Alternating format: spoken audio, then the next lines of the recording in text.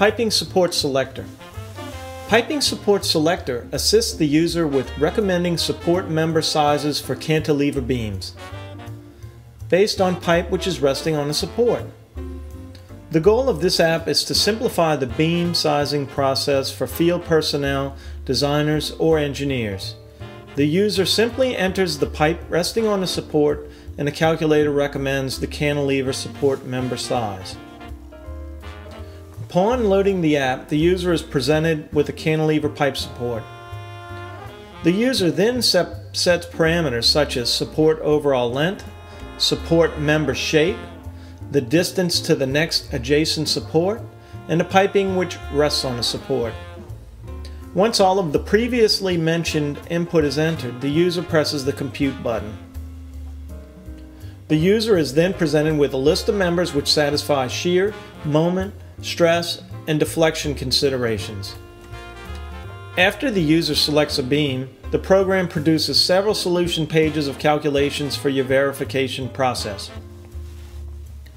Let's look at solving a typical pipe support problem to demonstrate the program in action.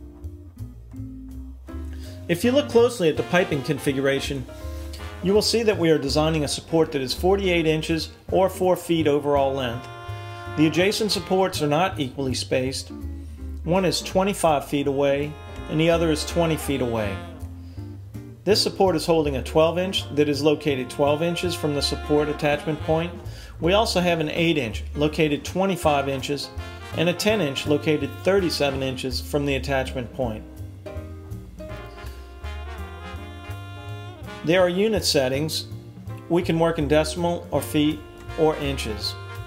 I'll set it right now to work in uh, feet and fractions.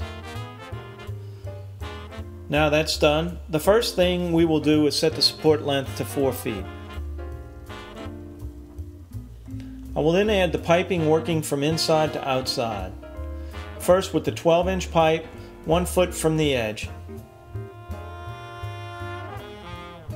The pipe is now indicated on the pipe support. Second, the 8 inch pipe, which is 2 foot 1 from the edge.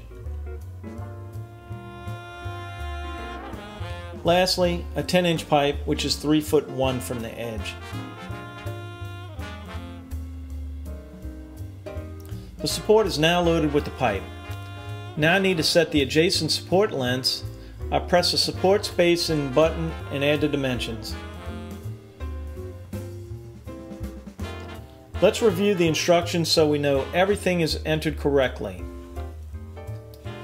So set support length, done. Add piping, none, one or more, done. Set support shape, aha, W. Set support spacing, then press compute. So we're all ready to go.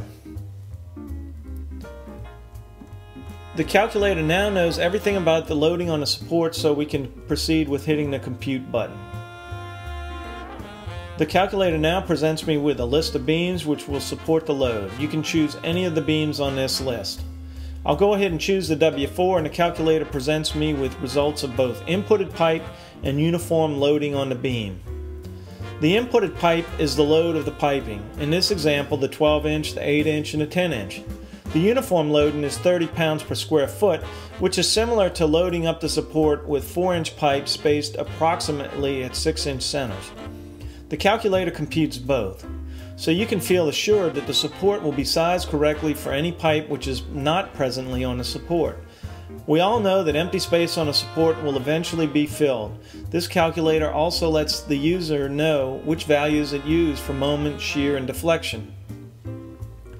The results on this page are backed up on the following pages, which allow the user to verify that the calculations are correct.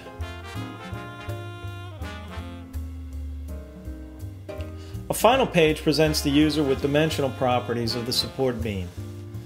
The calculator also lets the user check to see if an existing member will support another pipe when you scab onto it.